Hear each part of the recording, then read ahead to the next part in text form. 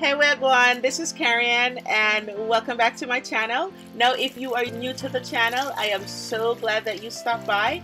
I hope you will consider subscribing because this shows me that you are enjoying my content as well as it allows me to keep providing you with these delicious recipes. I am so happy to share with you today my um, sorrel recipe, my sorrel drink or my sorrel wine recipe. And if you're not familiar with sorrel, sorrel is an awesome part of the Jamaican Christmas tradition. Its history is traced all the way back to West Africa. Now, sorrel is um, comes from the hibiscus plant. It's from the petal of the hibiscus plant, and it is rich in antioxidants and vitamin C, and that's something that we all need this season.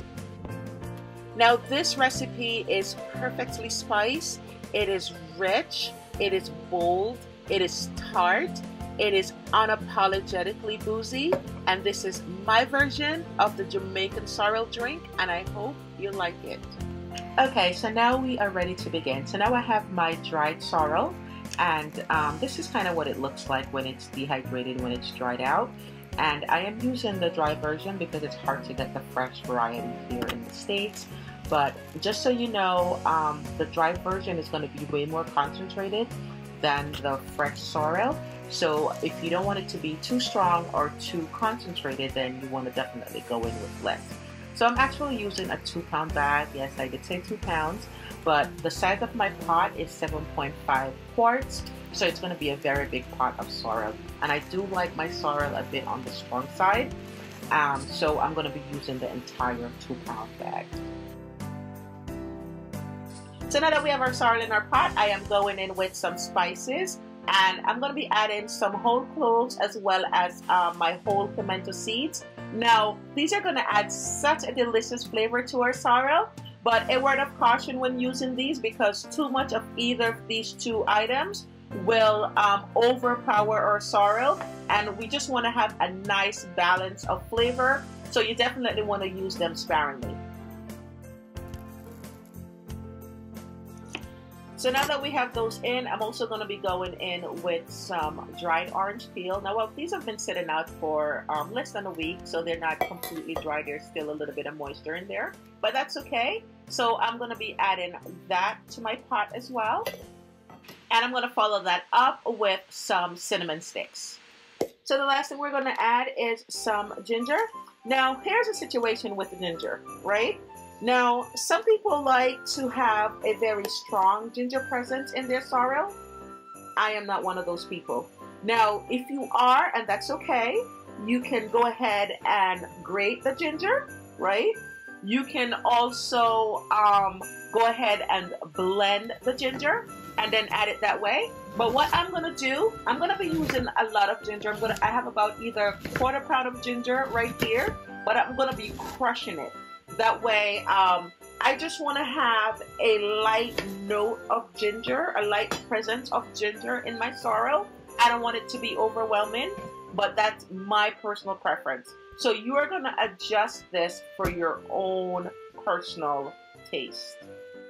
Now I am ready to prep my ginger. I am going to be leaving the skin on because it does con um, contain a lot of nutrients and a lot of flavoring. So I always tend to do that. Now you want to make sure that you wash your ginger properly to rinse away any dirt or debris that might still be on there. And I'm going to cut this big piece of ginger into small, um, small chunks, right? Then I'm going to use something really heavy and then I'm going to crush my ginger and add it to the pot. So now that all our ingredients are in the pot, we are ready to move on to our next step and we want to get our sorrel ready for steeping. Now, there are two methods to consider um, for this next step. And the first one is to boil the water in a separate container and then pour it onto the sorrel and allow it to sit that way. Or the second one, which is what I'm going to be using, is to add the cold water to the pot and bring everything to a boil and then allow that to steep overnight. Now I've used both method over the years and I haven't noticed a difference in any taste or flavor of the sorrel. So I think it's safe to say you use whatever method you're most comfortable with. So the hard work done, right? So the hard work was really the prep part. And now we are ready to um, get our steeping going. I'm adding my water. I'm going in with some cool tap water. You want to add enough water to cover everything in your pot. Once you finish adding your water, we are going to bring everything up to a boil on medium flames. Now, you're going to cover your pot and allow everything to boil. Once it starts to boil, you're going to go ahead and turn off your flame and leave the cover on and allow this to sit for at least six hours. 24 hours is preferred, but at least six hours because you want to make sure that um, all that delicious flavor and that beautiful, deep, rich magenta color from the sorrel is now pushed out into our liquid because you want it to be full body. At least I like mine to be full body. So you want to cover this and allow it to steep overnight if possible. I just wanted to give you a visual of what it looks like once everything has come to a boil. And you can see some physical changes here. The sorrel has now expanded from what it was. It's now completely hydrated and it's softened up. And also, if you look at our liquid, it's now that deep, rich red, which I absolutely love.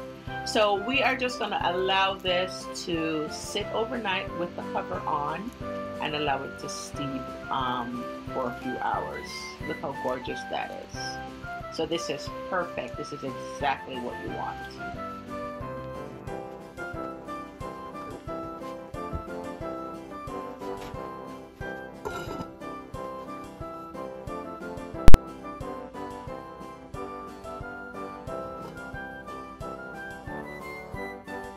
So now this has been sitting overnight. So I am going to be straining this off. I want to separate the solid bits from my liquid. And I'm going to grab the biggest strainer that I have. And I'm also going to be using a measuring cup to scoop this out. I'm going to throw on some gloves and I'm going to use my hands to press it out against the strainer to make sure that I get every last bit of liquid that I can from my solids. Okay, so you're going to go ahead and repeat the process until everything is strained out and you have all your solid bits separated from all the liquid. Now, do not throw out those solid bits, right? Knuckling them wet. I'm going to talk to you in a minute or so about ways in which you can repurpose this. We don't want to be wasteful. Now, um, just set that aside for now and we'll get back to that in just a minute. Okay, my lovely, let's talk about ways how we can repurpose the solid bits. You can make tea. I am a tea lover. I love sorrel tea. I drink it all year round. You can um, freeze these in some ice cube. Just place it in the ice cube, add a little bit of water, and freeze it. Once they're frozen, you can remove them, store them in a Ziploc bag in the freezer. When you are ready to make your tea, you could pop them out, add your hot water, your choice of sweetener, and you are good to go. Boom, that's one. Um, you can make a sorrel barbecue sauce. So you can make sorrel barbecue chicken or sorrel barbecue chicken wing or whatever you put barbecue sauce on. You can make a sorrel chutney, um, add it to some pork. Um, you can make some jam with it. Of course, you're going to remove um, you know the pimento seeds and the orange peel and the the cinnamon and all that other stuff that you don't want to you don't want in um, included in whatever you're going to repurpose this in. You can do a quick Google, Google sorry, you can do a quick Google search on um, sorrel flavored items and you can repurpose this accordingly. Just don't throw it out. Um, if you don't want to recreate another dish from this, you can also add it to your garden, right? You can feed it back to the earth. That's a, a, a nice way to do it. But whatever you do, not fling it wet. Please don't throw it out.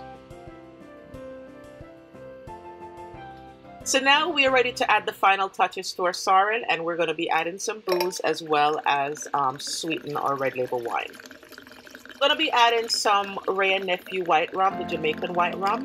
And traditionally, the red label wine is used, but I'm going to be using the port wine. Now, I am not a big fan of the red label wine. I only use it when I've run out of my port wine. I know you want to challenge my Jamaican card, but we can always fight about that in the comments. It's personal preference, and I prefer to use a straight up port wine as opposed to the red label wine.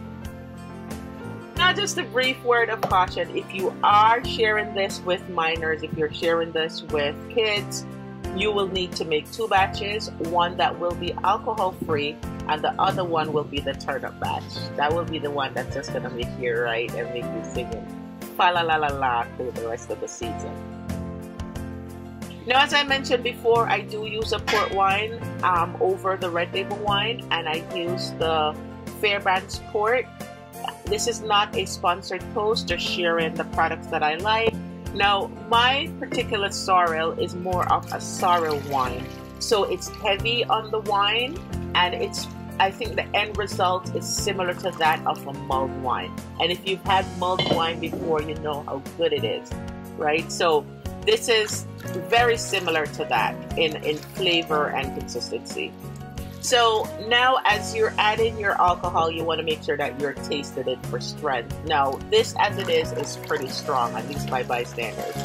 Um, you want to taste, you want to add slowly and taste as you go. So next, we're going to go in with our sweetener.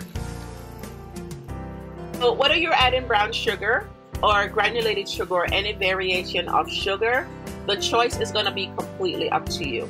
Now for this recipe, I'm going to be using some simple syrup, some homemade simple syrup. Really easy to make. It's literally combining sugar and water um, on the stove. You want to heat it up on the stove and stir it until all the granules have disappeared, have, have dissolved out in the water. That's it. Then you want to allow it to cool. You have to allow it to cool before you use it in your sorrel. Now, I choose to use this method because I can be a bit impatient, and a lot of times when you're using, um, you're adding sugar to a cold mixture, it tends to take a while for the granules to dissolve out, and I don't want to have to wait for that. So I do this in advance. That way, um, it's easy for me to sweeten whatever I'm sweetening. So in this case, it's my sorrel. So I'm going to be using my my simple syrups, and that's what that clear liquid is. And of course, when you are adding your sugar, when you're sweetening your sorrel, you want to add it slowly and you want to taste as you go just to make sure it tastes exactly how you want it to taste. That's it, my love. A delicious bowl of sorrel or sorrel wine, um, whatever you want to call it. It's going to be so good. You're going to really like it. Now, you definitely want to refrigerate your sorrel. It's best um, enjoyed cold or chill. So you'll definitely want to put this in the refrigerator and then you want to enjoy it later with a delicious slice of Jamaican fruit cake. But you can also store your sorrel for up to a year outside of a refrigerator.